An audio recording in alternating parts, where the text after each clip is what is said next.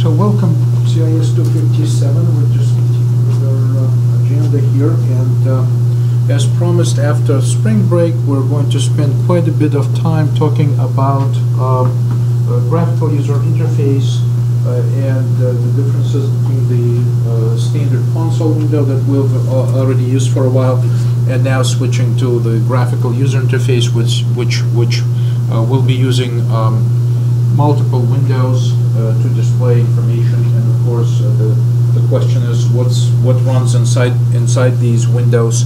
And what is um, uh, what is new for us uh, uh, on the programming uh, standpoint? Uh, so what, what what are new things that we have to be aware of? What are new things that we need to incorporate into our design? And in general what it takes to program uh, an application with uh, uh, with uh, uh, graphical user interface. So let's um, let's run a, a, a quick comparison between the two uh, applications. Uh, Just um, just a quick uh, overview of what we already know about the console window. Okay, so just go to uh, do a simple demo here. so for instance, um, if I have a console uh, application, uh, you know that this, this console application is basically taking um, an approach that uh, it executes a number of steps. Eventually it may exit and uh, occasionally it asks user for input right? So there are times when we stop the application and basically ask the user to provide some input so the user typically types something here and they hit the enter key right? The enter key and that information is input into the program and the program continues. So the program continues and then the next time we want to ask user for some input the execution completely blocks and we're typically waiting for that uh, input and uh, we're completely at the mercy of the user uh, to uh, wait as long as they have to wait and then eventually hit the enter key again right? So once the enter key again is is hit typically your command window or console window uh, decides that at this point this input should become available to the application which is currently uh, running and waiting for that input. And so we get the chance to accept that input uh, perhaps validate that input and continue on. But overall it's a very procedural approach in terms of uh, all inputs and when those inputs happen are totally predictable. Now imagine the a different situation when we have a window, uh, uh, window uh, or Windows app, the app that has uh, a graphical user interface window, which may appear like this, right? So we have a uh, something displayed on the screen. We have the title bar. We have an optional X box here to close the application. We have some kind of a title over here. Then we have some input boxes. Uh, we can have a scroll bar, uh, something like that, right? Uh, we can have uh, uh, check boxes with check marks and some labels, and of course we can have buttons such as OK or cancel and so forth. So there's uh, so first observation that, uh, of of the difference between the two that we have as opposed to a single way of getting uh, user input. Uh, regardless whether we were waiting for integers or strings or double values mm, or anything else, here we essentially designate certain gadgets that can provide uh, certain graphical uh, user interface input to the program.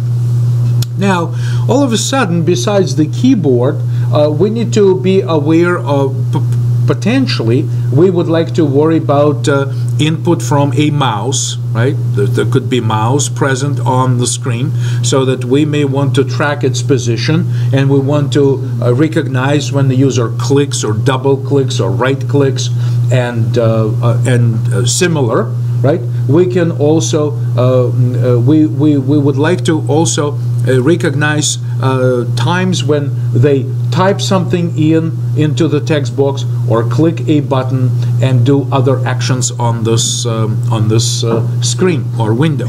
In addition, uh, the, the, the user could have multiple windows and uh, multiple windows could be part of our application. So instead of just having one window, we can have uh, multiple uh, multiple windows.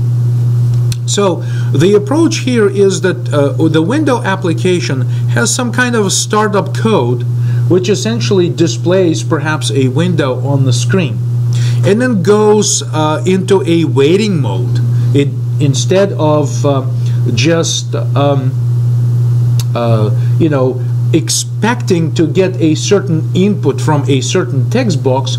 Instead the application is now uh, should uh, now should be ready to accept an event or input from any of this right it could be a mouse driven or it could be keyword uh, keyboard driven uh, it could be a, a, a menu shortcut um, uh, uh, key and then execution of a menu item. There could be, um, essentially, it's completely unpredictable what is going to happen next. It's completely up to the user what action they're going to take next. They could exit entirely uh, right away, or they can spend some time and uh, uh, and then uh, decide to click an OK button. So therefore, our application after this initial startup code, which basically displays this window, has to go into some kind of a waiting mode. I don't know how to display it. Maybe like a like a like a like a loop which basically mm, you know just stays here and says whatever happens I will be ready and guess what? If the user clicks the button we have to execute one thing. If the user uh, starts typing into the text box and hit the, the tab key or enter key, we want to execute a different code. If they want to use the scroll bar, for whatever reason we had that scroll bar over, over here, there could be another uh, portion of the program that should execute. So therefore, it's completely unpredictable in what order and if ever any of this will be invoked. Essentially, the style of programming is that let's provide enough gadgets and enough this graphical user interface controls so that the user has choices, but at the same time, we need to be completely ready for multiple events associated with these gadgets and, and windows and scroll bars and menu items that may be available to the user. And so we, we should be responding, um, uh, you know, accordingly uh, to any of these events.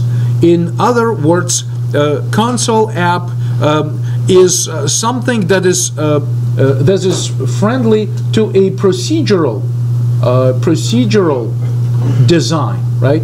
It's typically not a, and not a big challenge to write procedural code which just executes procedures without any kind of object object-oriented uh, approach to, to implement and write a console application. Mm, whereas in a window app in a window application in environment or graphical user application environment uh, what we need to do is that we need to uh, uh, plan for an event uh, event driven uh, environment okay so this is going to be um, uh, event-driven environment and it's very likely that we would like to choose uh, certain classes, certain specific uh, objects to uh, respond to messages from these gadgets that are visible on screen.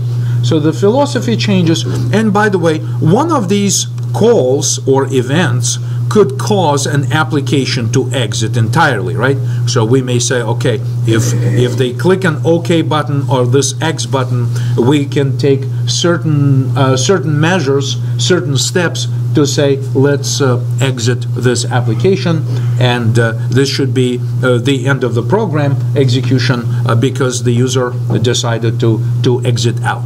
So so this is a completely event-driven, and we don't know what's going to happen. And uh, in this sense, the event-driven approach um, perhaps is a, a, much better platform to handle event-driven environment is actually object-oriented approach and this is something that we're we should be we should be ready for by now and we should be uh, uh, we should begin to discuss uh, you know useful objects which uh, implement a graphical user interface